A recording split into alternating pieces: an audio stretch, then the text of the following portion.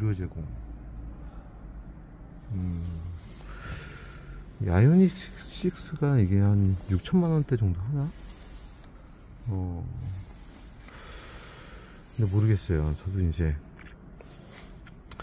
어, 내연기관 차만 어, 휘발유 가솔린만 오래 몰아서 그런지 어, 이런 전기차에 대해서 이 보조금이 보조금 받으면 좀 싸지겠죠? 결국? 음. 근데 금액 대비해서 그렇게 막 고급지거나 이런 느낌은 좀 못 받는 것 같아요. 음.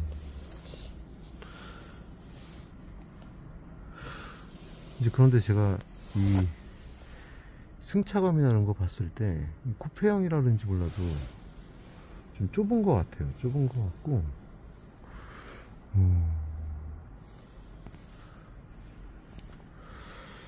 근데 이게 뒷좌석이 좀 많이 좁다 그러던데 뒷좌석 한번 타봐야 되겠다. 근데 앞에 어떤 승차감은 확실히 좀 덜한 것 같아요.